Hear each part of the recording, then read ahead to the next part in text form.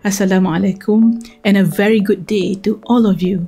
In this video, I'm going to share how I create this Bitmoji virtual classroom in Canva. And it'll take you less than 5 minutes to do it. So let's dive in. Okay, we're going to start with this design. What we're going to do first is we're going to create a blank slide. I'm going to click on that and then this is going to change that to white. White okay. And we have a blank slide here. We're going to go to templates.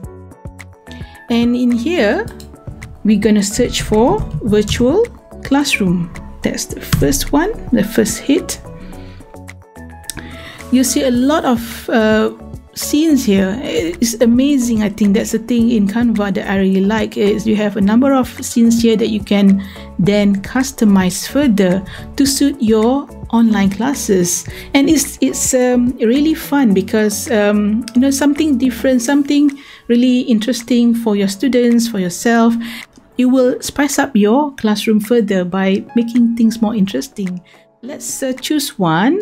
Um, I'm gonna use the same design here so I'm going to choose this one. Go back to the slide. Click on this. So we have that already. Okay. So now what we're going to do is we're going to customize this further accordingly. I'm going to remove that chair. Uh, and then in this part, I'm going to actually, um, you know, shift that table to the to this uh, one side. So here I'm going to click on shift and to move it as a group you can group it together if you want to as well. And put it on the side make it fit so that I can see clearly. I'm going to remove that shelf. Going to remove the it's really up to you. I'm going to just show what I did with it. Remove that that leave the remove the table. That leave the um, particular uh, pot. I'm going to change the color so this look looks something really simple. Oops. That's not really what I wanted. Maybe let's leave it okay. So I'm gonna just leave it as it is like that more or less. Maybe like that. Okay. So we have the basic template already. So I'm gonna go to Bitmoji. I'm gonna go click on this. I'm gonna right click copy image. Go back to my design and then paste it. Alright there you go. So I'm gonna go to position. Press forward. So it's up there up really in the, the first layer. Gonna actually shift it again. I haven't really do it well. Okay that's that's done. Just now the text was actually in in front.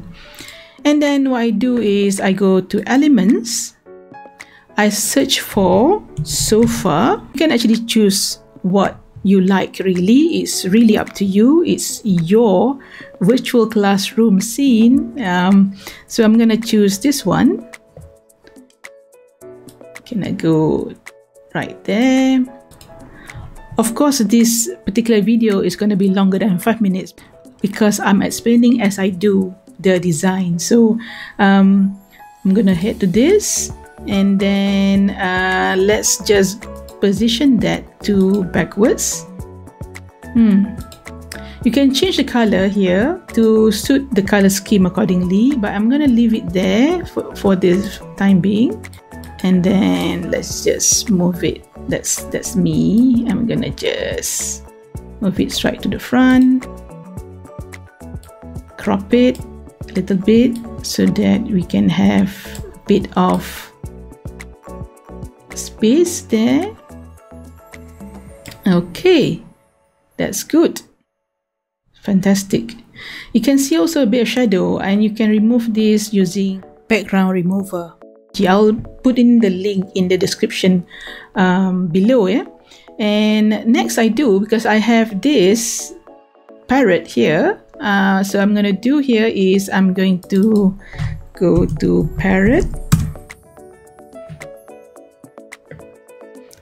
Really nice ones here. You can just go through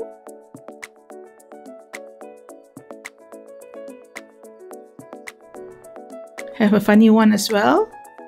Maybe this one. Let's, let's try this one. This is quite cool. Looks cool. We can have it there. And then I'm going to just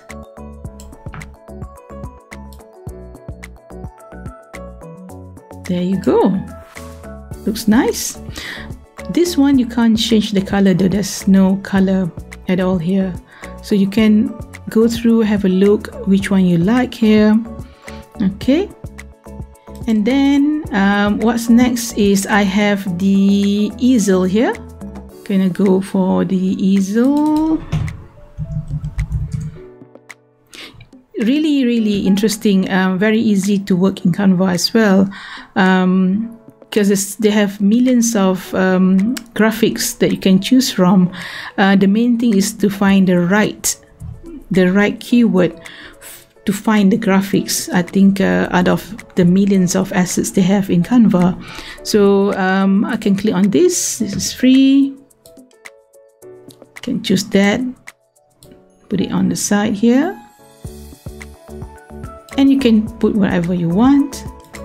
And in here, you can always customize it further to suit your class, the dates, the quotation, the agenda or you know you can ask them what to read and what to watch um, the assignment as well. And you can of course you can you can go to the text in here for example and you can click on the text. Click on these three dots and what you see is this link.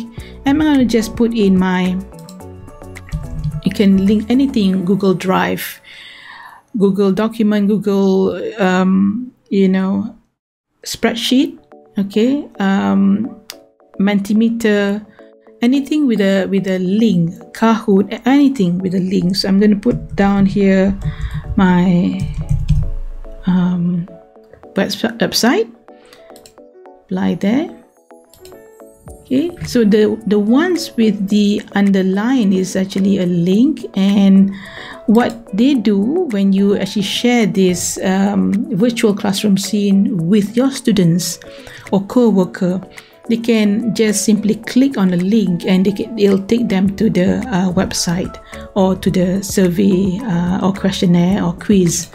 Uh, so here i'm pretty much done. Um, you can customize this further if you want to yeah you can change the elements at the back here.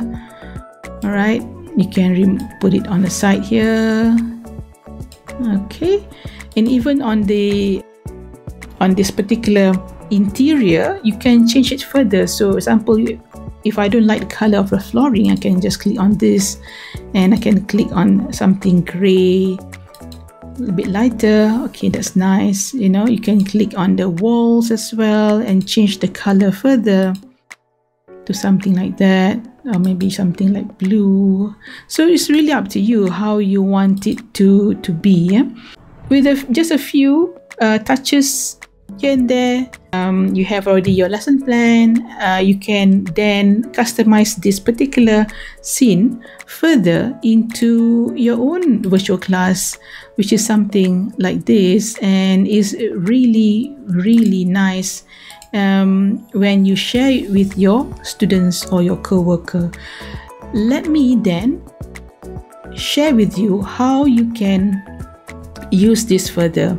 So the first way is you can um, if you see here you can actually see you can download it straight away as a png jpeg pdf and so on.